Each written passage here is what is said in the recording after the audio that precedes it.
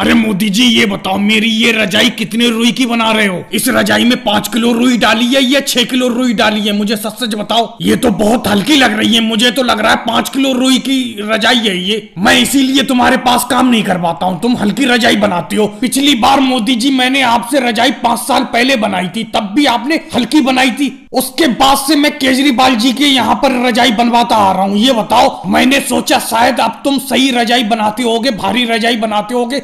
रुई डालते होगे, इसीलिए मैं दोबारा चला आया। लेकिन ये मुझे पाँच किलो रुई की रजाई लग रही है। अरे, तुम्हारी रजाई में ठंड जाती ही नहीं है, बहुत ठंड लगती है तुम्हारी रजाई में। क्या कह रहा हूँ योगी जी, ये तुम्हें पाँच किलो रुई की रजाई लग रही है? अरे, पाँच किलो रुई डाल के हमें क्या अपना बेड़ा गर्क करना है? सिर्फ़ एक किलो रुई है तुम्हारी इस रजाई के अंदर। सिर्फ़ एक किलो रुई की रजाई बनाई है मैंने तुम्हारी, समझे? लेकिन मेरी एक किलो रुई की रजाई और केजरीवाल की दस किलो रुई की रजाई बराबर औसत देती है। अरे मोदी जी, क्या कह रहे हो? सिर्फ़ एक किलो रुई की रजाई बना रहे हो? अरे मैं नहीं बनवाऊँगा तुमसे रजाई उजाई। समझे, कम से कम पाँच किलो रुई तो होती इसके अंदर। मत बनवाओ, मेरे पास भी ऑर्डर की कमी नहीं है। अपने पीछे देखो, कितनी रजाई बनाने को है अभी मुझे। अभी मेरे पास अमित शाह जी का ऑर्डर है, राजनाथ सिंह जी का ऑर्डर है। कई लोगों के ऑर्डर पड़े हैं। बनवाओ बनवाओ, नहीं बनवाओ, कोई बात नहीं। तुम जब भी आते हो, खुरापाती करते हो, पाँच साल पहले मेरी दुकान पे आए थे। देख रहे हो, ये कितने लोग काम पे लगे हुए हैं, ऐसी थोड़ी लगे है। सबसे बड़ा रजाई का काम है मेरे यहाँ पर। अरे मोदी जी, आपने इनका काम लिया ही गलत। मैं तो कह रहा हूँ, गलत लिया। ये पिछली बार भी आए थे, इन्होंने ऐसी लपड़ा किया था। हाँ मोदी जी, राहुल बिल्कुल सही कह रहा है। तुमने योगी जी की रजाई का काम लिया ही गलत।